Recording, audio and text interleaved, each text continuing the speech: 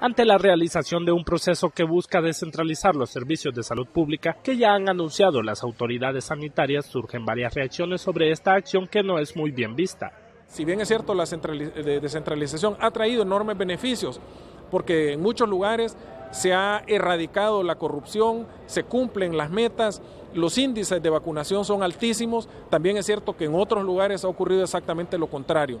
Pienso que la descentralización es una parte nada más de la reforma del sector salud, pero no la única, y debe apostarse más al fortalecimiento de lo público y no a la privatización de los servicios de salud. El presidente del Sindicato de Trabajadores del Hospital San Felipe se manifiesta en contra de este procedimiento.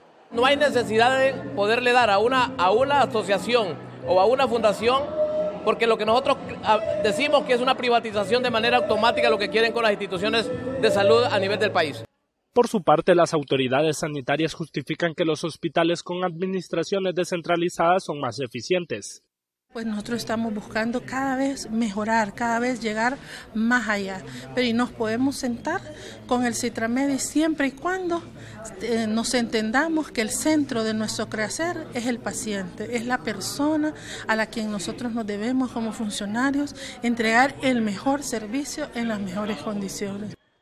Son los directivos del Citra Medis quienes hoy se oponen de manera rotunda a este proceso, ya que aseguran que solo se busca privatizar el servicio de salud en los hospitales públicos. Desde Notifides le invitamos a fomentar una cultura de paz. Con imágenes de Moisés de León les informó Denis Salgado.